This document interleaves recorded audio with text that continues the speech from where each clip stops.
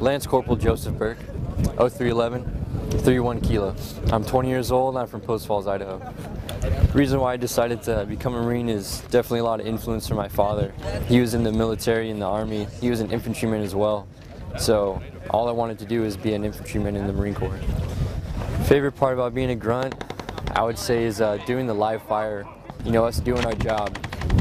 I mean, there's there's a lot going through my head, especially as a team leader, because not only am I focusing uh, on the other teams, watching them and seeing what they're doing, but uh, I'm also watching my Marines, making sure that they're doing their jobs correctly, and then at the same time, I have to focus on my own like personal weapon and make sure that I'm also uh, taking on the enemy as well. But through a lot of stressful training and going through those worst case scenarios, it uh, it almost makes it a little bit easier.